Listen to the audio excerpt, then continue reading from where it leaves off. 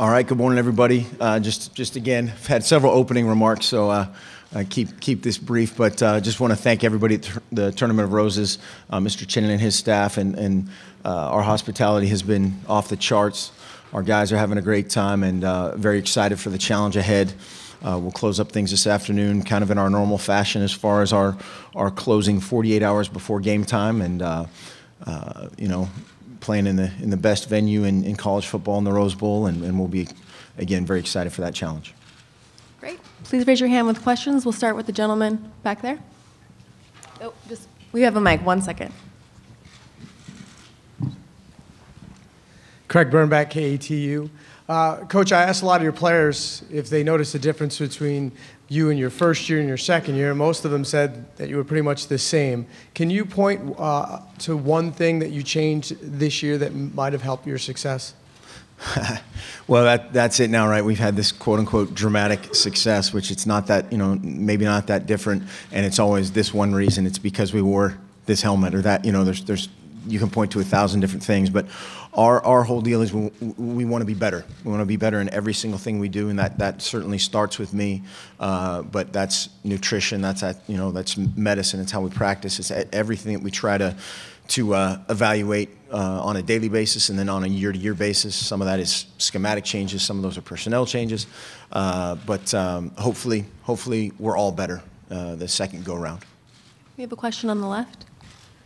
Steven Alexander, Portland Tribune. Mark, what what did you learn in the previous BCS games while you were the offensive coordinator that you can take into this game and and bring into it? A lot. Uh, and we've we've talked about that and addressed that particularly with our, our younger guys who haven't been in these games. Uh, it's it's different. You know, that the the game is different. The uh, As I said yesterday, the crowd will be jacked for the coin toss. You know, the the coin toss will decide the game in a lot of people's minds. The first first down, the first just ebb and flow of the game, and it's and it's really just being able to sustain your focus on yourselves and not the guys that are gonna look really good in the in the garnet and gold. They're gonna, you know, that's gonna be a great-looking team, and I think a lot of teams uh, are mesmerized by that and fall back into that uh, in some of their comebacks after giving them a great test early and not being able to to sustain sustain that. But you know, the TV timeouts are different. The You know, the atmosphere again will be outstanding, but we can't get caught up in that. We'll try to do try to kinda take care of that today when we visit the the stadium, take some pictures, be, you know, ooh and ah a little bit, and then just just dial it in. We have a question on the back right. Coach, uh, Sandy Hooper, USA Today Sports right here. Hey. Um, so we had a little bit of fun with your players this week, asked them uh, what they thought your New Year's resolution should be in terms of coaching. They said that you should hit the gym and work on your biceps. Just wondering. Fact if you had any thoughts about that and what you think your New Year's resolution should be in terms of coaching. I've thought of a lot of things this fall, and that's not one of them. So I need to I need to go back to work. Maybe I just need. What were theirs? I need to gain some weight? Well, I definitely need to work on the biceps, so that, that's true. Uh, and I'm sure my wife will have a couple couple others that I need to work on. Take out the garbage on time, that kind of stuff. We have another question on the right. Hey, Coach. Asher Wildman, WCTV. I was just wondering, you're facing a quarterback that's never lost a game, and and obviously Florida State's on this amazing run. Just what are some of the intangibles you've seen that, yes, they've got some lucky bounces, but you're still facing a quarterback who's never lost in college football? Yeah, I mean, and that lucky bounce thing only goes so far, right? I mean, you don't win 29 games in a row with luck, ever. Uh, and uh, they're just unflappable in a lot of ways. They, They again they get everybody's best shot. The team that's playing them that week has had their best week of focus, their best week of preparation, trying to to dethrone the the champs. And uh, to to, to be resilient enough to come back and win all those games is, again, very very impressive. They make a ton, they just make a ton of plays when it matters the most. And you know, there's times you look at a game like the Virginia game where Virginia's in really good shape, and they have two really bad possessions back to back, and and it's over. You know, it's over. And so, uh, again, focus on the next play. It's all those all those you know, cliché type deals that that go into to a successful football game are even more important just because of of how good they are. They can score on any, you know, any play in any phase. They can it's a pick six, it's a scoop and score, a flip of the field on a punt return, a punt return for a touch. All those things are are huge, and it's, you know, again, just focusing on on us. We have a question from the front row. AJ Jacobson, Rivals.com. Coach, you know, obviously you got so much more time to prepare for a, a Rose Bowl game. How do you change the pace of preparation so that you're peaking your team at the right time? That's the, the, the multi-million dollar question for sure is just how to, how to, how to be physical enough to, to still hit and tackle and be able to do those things, to be conditioned, to be great on special teams, which you look at every bowl game and there's a, you know, there's something significant in special teams that, that affects the, the outcome. Uh, and then a, another thing I think our staff has done a great job of is not being, not being too cute. You know, you can't reinvent the wheel and, and do something that, that isn't, isn't us you know, and I'm sure that they're, they're doing the same thing. You fight that urge about this time of year of, okay, what if they put 14 guys in the weak A gap and they put 12, you know, they, they can't do that. It's illegal. Uh, you know, and just in trying to, trying to just focus on, you know, start from the game time, move it back, and make it, make it as user-friendly for our guys to play fast and free and confident. Another question up front here. Uh, good morning, Coach. I'm uh, Bill Rhoden with the New York Times. Uh, what you do uh, is very uh, intense as, as a as a coach. How will this tournament that all of us have, have have called for intensify what you do in terms of recruiting, in terms of just everything? How will it just make it more? Yeah, the the the intensity and the build up and all that thing, I, I don't think has really changed that much um, since the the BCS era for, for us in our conference. We can't lose a game, you know, in terms of, of the BCS and how that, how that all, all, all led to the culmination of, of choosing those two teams. And so it's been, you know, very similar that way. I think it's been great for the media. You just name your four teams and turn on the microphone and argue, you know, and, and that's that's been great for college football. It's been an unbelievable infomercial for, for college football all, all year long. Just that that build up. Um, it's been great for our university. You know, we think those things are are are tied together absolutely at the hip. We're the the most diverse highest achieving, biggest class in the history of the University of Oregon, and we'd like to think that, that we're a part of that. Um, from an intensity, day to day, you know, type of thing, it really really doesn't change that much. And and we are, believe me, 100% focused on Florida State, and and haven't, you know, looked beyond them one second, which I think is comical that that's been brought up. We have a question on the left. Mark Austin Meek with the Register Guard. Six years ago, you were the offensive coordinator on a Colorado team that was five and seven. Tomorrow, you're going to coach, head coach in the Rose Bowl. Can you just sort of put in perspective how that how that happened? Um, I don't know if I can put anything in perspective of, of exactly how you know what you're working toward, but I've been on both sides of it. You know, been not very good, and we've been we've been fortunate to be to be really good. Uh, some places that, that we've been, uh, and just part of a, a great program. Uh, our staff, our culture, everything at the university is is is moving the right direction, and and very happy to be on that side of it for sure, uh, and uh, being around a great group of guys and, and men and women on our program, and certainly on, on our team. We have a question in the front right. Uh, Mac Engel, Fort Worth Star Telegram. Coach, when some of these quarterbacks who come out of systems similar to yours make jump to the NFL, some of them struggle with it. Any chance that the system sort of that they've gotten used to in college works against them as they make the transition to the pro game? Well, there's so many factors that go into that. You know, of whether it's uh, you look at a, a quote unquote every every quarterback's a system quarterback, right? I mean, whatever they run, they run. That's their deal, and I think it, it really depends on that individual way more so than the system. And then you have to look at where they go. You know, generally, uh, top flight quarterbacks don't end up at the you know in the perfect just plug and play type of uh, everybody. You know, they've got 21 other great players, and they just need the quarterback. That's that's rare for guys that that are that are whatever highly touted uh, coming out of coming out of uh, college. I know you know with, with both the quarterbacks in this game, they can they can play at any level. Uh, you know, both those guys, they're completely different. You know, totally different guys from from a style standpoint. Um, but both will have have tremendous NFL careers if they end up in the right spot. You know, if they don't, things can things can go different ways. We have a question on the back riser. Mark Warren Williamson, Oregon Duck Football News. You've always seemed so calm and, and collected, and that's what you preach to the players in, in, on the big stage like this. But what about yourself? Have you felt the nerves as, as during the lead up to this game, and maybe what will you be feeling maybe tomorrow when you take the field? game day. You know, it's game day. I think our our our most important time, in, in my opinion, is earlier this week two weeks ago, three weeks ago, fall camp, you know, all the things. I, I lose sleep over Mondays and Tuesdays practice way more so than, than, than game day, you know, uh, of, of making sure we're in the right frame of mind to go out and prepare great. And our guys have, have bought into that you know, wholeheartedly. Uh, obviously, we've had, you know, had one, one big hiccup this year, uh, have bounced back from that really well, and, and we've had, you know, we've had a great, great couple weeks of preparation. Now we just gotta, just gotta go play. A question right up here. Mark Dennis Dodd, CBSSports.com. Since you've been to a few of these, can you explain why the Rose Bowl is so special to people that maybe haven't been here before, and then how a playoff might affect it? Do you think in the future? Um, well, the playoff, you know, the playoff aspect of it to go in reverse order would, would certainly affect just the purest of, of, of you know, growing up on the West Coast, the, the, the Pac 8, 10, 12 uh, versus the Big Ten element.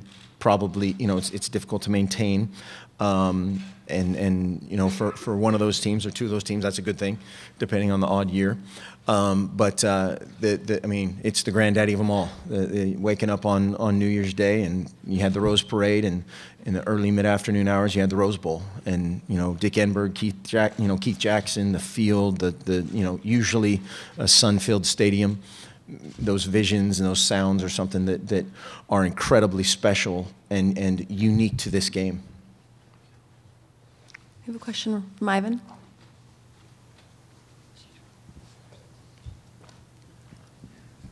Ivan Maisel, ESPN.com. Mark, uh, I, I feel like the last, not every bowl game since you've been here, and even including with Chip, but the majority of them, the offense has begun slowly.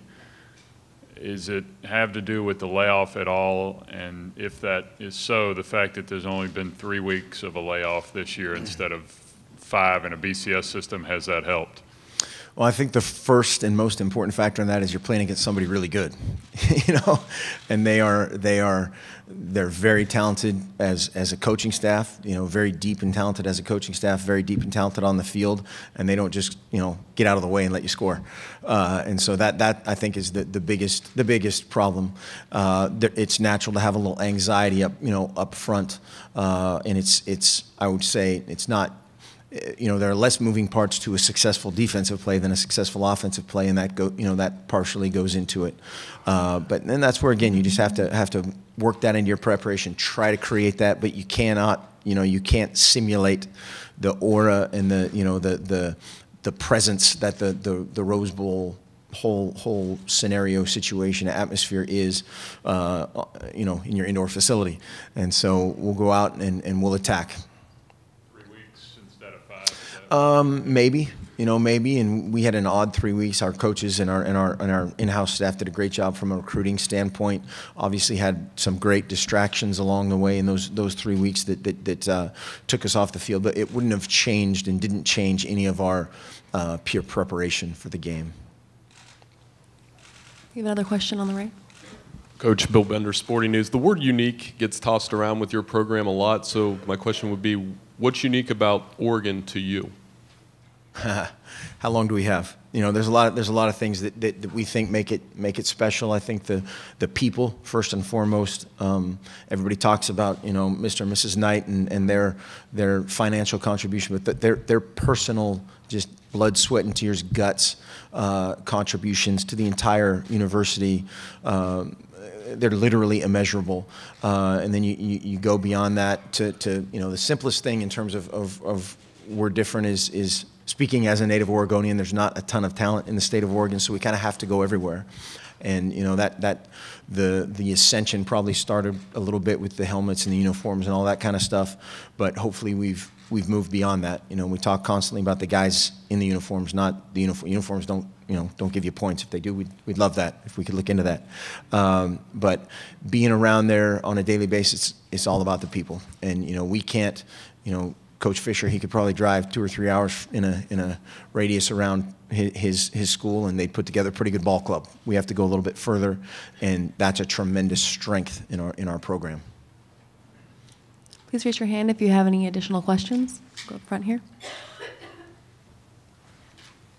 Uh, Bill Rhoden again with the New York Times. I, I, what I meant with my original question is, will this tournament the entire tournament uh, as a coach uh, uh, intensify recruiting, the, the importance of talent, which has always been important, but now I'm wondering if because of Sure. this new setup, it will even intensify. Yep. Well, I apologize for not, not answering your question correctly earlier. Yeah, uh, you know, three things when you, when you look at why young, you know, prospective student athletes choose a place are distance from home, which is a challenge for us, uh, winning, and then having a plan for them. You know, having, having a plan for them. We think we have uh, a pretty good hold on two of those three. Um, the third one you can't, you can't affect. You know, we're not going to move the campus. Um, and so, uh, being successful, being out there, publici- you know, publicizing the great things about the University of Oregon, uh, certainly can do nothing but but help those efforts of at least getting in those doors. And now we just need to make sure it's the right guy coming into our program, and he's not just excited about you know the Hatfield Dowlin complex. He's not just excited about the you know Nike relationship. He wants to come here and and, and truly maximize his his existence. all coaches, because of the term thank you support, all coaches will feel more pressure to now recruit because of the stakes that are. I think pressure is relative. I think we, you know, I think you have pressure to, to have a, you know, tremendous practice today. You know, there's a ton of pressure on that. And I think all, all that other stuff, the external stuff, the, the, the lights, camera, action, you know, element of it, that's great. You know, you, you want to be a part of those kind of games. Okay, we have another question from the back. Mark Warren Williamson, again, Oregon Duck Football News. Didn't really get a chance to talk to you this week about this, but Southern Oregon won the NAIA. Congratulations on that. Yeah. So uh, maybe talk about that and what that means to you as a former player, and maybe it might be a good omen. we'll take it. If it, any, yeah, any sort of mojo, we'll take. Uh, no, Southern Oregon had an unbelievable year, a tremendous season for those guys, and, and to to finish in the in the style that they did, basically dominating the, the semifinal and the and the championship game was was awesome to watch, and, and got a you know ton of friends down there that, that are still on that staff, and and uh, have have talked with Coach Howard and his staff you know, somewhat extensively about uh, ball, and they do a great job. They do a great job. We can learn a lot of, you know, from a lot of things from those guys. We have a question right up front. from Éxito Magazine from Eugene, Oregon. Uh, the Spanish magazine is pro about you and the dogs. I know you are focused in the Rose Bowl, but my question is, do you think you are ready for NFL, maybe 49ers? First of all, is that your Eugene accent right there? Uh, I am I am not ready to play in the NFL. I'm not. I'm going to forego my senior season and stay in college. But no, I have no idea. You know those kind of things. It, you know, a couple weeks ago, I'm the biggest idiot in the history of the world, and and now there's some other adjectives out there, and so we are, believe me, focused on on a lot of other things and not the 49ers. We have another question.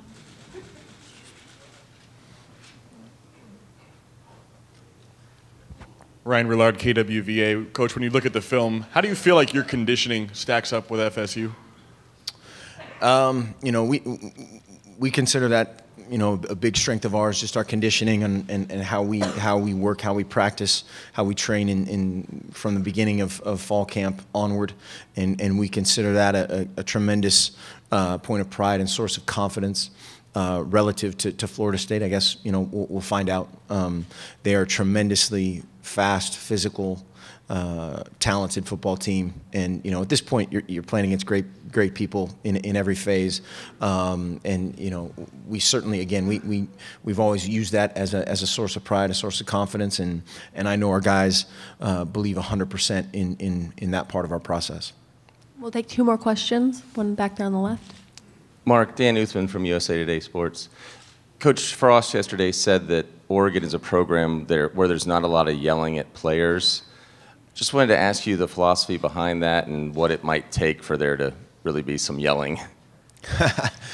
Well, there, there's hopefully a way more teaching than, than yelling. You know, one we we we hammer home just as, as coaches when we when we're talking about ourselves is is you know we, we need to teach the guys what to do and you know the old coaching you know do it right. What does that what does that mean? You know, anybody in this room can tell somebody to do it right. We have you know excellent specialists in their field, great leaders of of of young men that need to teach guys what to do and show them and tell them and you know find the way to to to to hit the, to bring that home and you know eh, the music's too loud to yell at them anyway so they wouldn't be able to hear us but uh, you know especially in the in the in the meeting rooms and all that stuff is it's it's it's teaching you know it's not it's not who can scream the loudest that's you know for the for the movies One more question on the left.